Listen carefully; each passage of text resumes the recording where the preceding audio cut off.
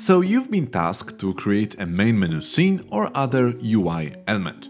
You spend hours crafting beautiful buttons, backgrounds, texts, and you end up with this. There are tons of labels and it's pretty easy to get lost. The solution is simple. We need some icons.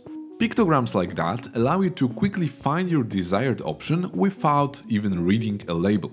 What's more, they are even more valuable to your young audience or anyone who doesn't understand language in your game. See that symbol? Everyone knows that's a settings icon. Something is locked in your game? Use this one. Having trouble understanding the language of the game? Check out this globe that represents language options. The list goes on and on. In this video, you will learn how to find the best icons for your game completely for free then I will show you how to import them into Unity and what are the best placement options for them. Let's go! So let's start with my scene. As you can see, here in the middle we have a few options representing a main menu scene for some imaginary football game. Above that, there are also some additional buttons which we'll leave for now. My idea is to give each of those blocks in the middle a big icon representing what this option does. Before we'll go online to start hunting for some icons, let's take a notepad and write down all the icons we need with some ideas what can represent them. So here for example, finding an icon for the quick match sounds like a hard task, but then what do you associate with the word quick or fast? For me, that would be a rabbit because of its speed, or just a stopwatch which allows you to quickly measure the amount of time. Similarly, career. If you Google for that word, then you can see steps, ladders or briefcases. Be sure to write down all of your ideas in the notes. Then, time to search online for some icons. You can try to Google them and go to the image results, but trust me, this mess of different icon styles, watermarks and no information about the license is a nightmare to work with. I will show you two great websites instead. The first one will be flaticon.com. This website offers thousands of great free icons. Here you can start searching for your desired one. In my case, I will just type stopwatch. When you go to the results, please ignore those ads for the paid services. Just scroll a bit to the bottom and you see a wide range of beautiful icons. Then you can even specify what kind of art style you are interested in. I will select a gradient, outline. You might already see your desired icon, but I'm still looking. Let's go to the second page and yeah, I like this one. Let's click on it. Here you can see multiple icon variations and even some options to modify it. But let's focus on the right sidebar. Here you have a download button and information about the license. As you can see, you are allowed to do basically anything you want with it as soon as you mention this website and the author of these icons in your credits list. So now let's press download PNG and select free download. Great! We can now check off this quick match from the list. Of course, now I should go back and start searching for other icons, but because I really like this art style, I would love to stick with it. If you scroll down, you can see that this icon is part of the stationery pack, which has those icons, and the graphic style is called basic gradient gradient style.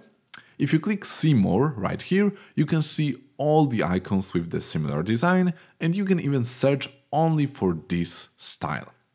So now I will search for the other icons on my list, but first let me tell you about the sponsor of this video. Core is a new gaming platform which allows you to play, create and share your own games with people around the world. There is a vast library with thousands of free music, sound and art assets that will speed up your level design and allow you to create your own games without writing a single line of code. Of course, as a more advanced creator, you can also build games from scratch by creating your own game logic in Lua and making your own 3D models. If you ever dreamed about creating your own multiplayer gameplay, Core takes care of that for you. There is a built-in multiplayer, so you don't have to worry about multiplayer networking and setting up servers. What's more, you can also make money with your games through the Core Perks program, which shares 50% of the revenue with creators. Many of them have been able to find great financial success with the help of the Perks program. I myself found Core as a great and quick prototyping tool and a fun way to reimagine content shared by other creators to come up with some new ideas. Use the link in the video description to download Core for free and start creating your own game. Big thanks to Core for sponsoring this video. Okay, so here are all the icons I downloaded and now it's time to add them to our Unity project. Drag in all your downloaded images into the graphics folder in Assets. In my UI, I will modify the first box so that the text will go a bit down and the new image will be created here in the center. Then I simply assign our stopwatch icon as the source image. Looks way better.